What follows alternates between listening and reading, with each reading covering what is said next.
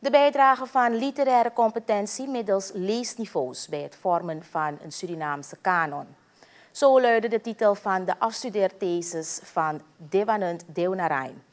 Hij verdedigde vanmorgen in het gebouw van de IGRS zijn thesis voor het verkrijgen van de titel Master in Nederlandse taal en cultuur. Volgens Deonarijn heeft een onderzoek uitgewezen dat de boeken van Sintja McLeod erg populair zijn onder scholieren. In 1997 al ja, is bewezen dat Sintja McLeod binnen de top 5 was van meest gelezen auteur.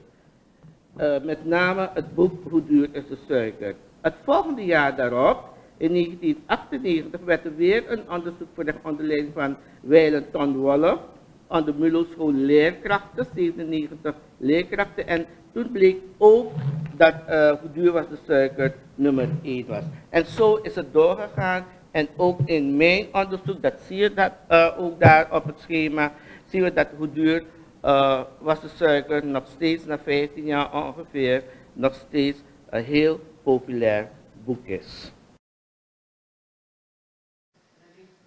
Deonarijn geeft aan dat het hebben van een literaire kanon laat zien wat wij als Surinamers hebben en wie wij zijn.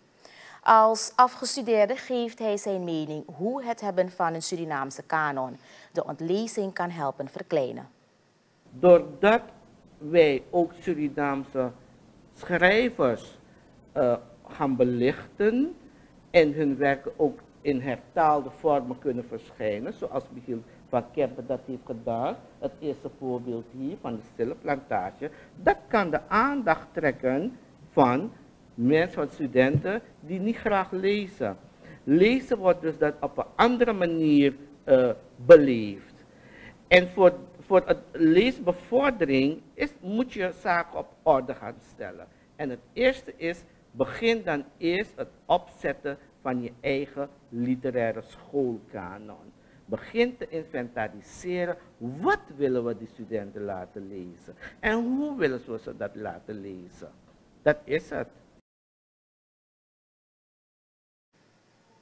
Deonarijn verkreeg het cijfer 8 voor het verdedigen van zijn thesis en verkreeg daarbij de titel van Master in Nederlandse taal en cultuur.